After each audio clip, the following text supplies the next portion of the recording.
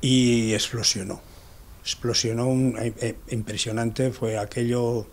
tendría que tener una carga impresionante porque aquello fue terrible, terrible el, el tambombazo que pegó y lo, esto pues a mí me desplazó igual tres o cuatro metros, no lo sé, pero yo salí por los aires, me salvaron unas persianas que había allí de una tienda antes de la cafetería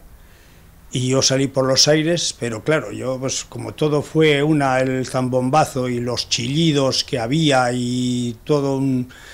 pues había allí unos nervios de toda la gente, la gente corría para un lado, corría para otro y tal, pero nadie nadie se acercaba allí que era a donde nos necesitaban en la cafetería, yo me levanté y yo fui para allá y lo cual pues que yo veía correr gente, pero yo en esos momentos estaba yo allí solo. No veía a nadie, nada más que yo solo. Y yo pues no me iba cuando veía a la gente que estaba herida, que estaba pues bueno, cadáveres que, que había allí tirados y bueno, pues yo empecé a sacar gente, empecé a dejarlos allí en la, en la calle, en medio de la calle y pues yo seguí allí con todo el polvo que había, que, apenas se veía, y eso, pues había mucha gente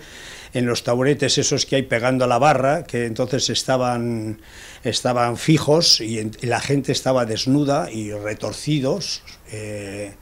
lo cual, pues, pues bueno, el impacto y yo solo allí sacando a la, a, a la gente y allí no acudía nadie, pues luego hasta no sé si pasaron cinco minutos, diez, un cuarto de hora, es que yo ya aquello, pues como era tan, tan grave lo que había allí dentro, aquel horno tan, tan, tan atroz, aquello era un horno atroz.